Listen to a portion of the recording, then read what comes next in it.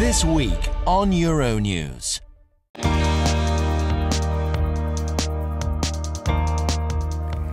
Books are an essential element of a country's culture.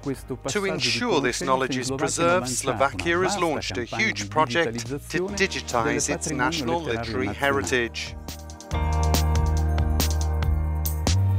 Making millions of pages available for future generations. That's in Smart Regions this week on Euronews and Euronews.com.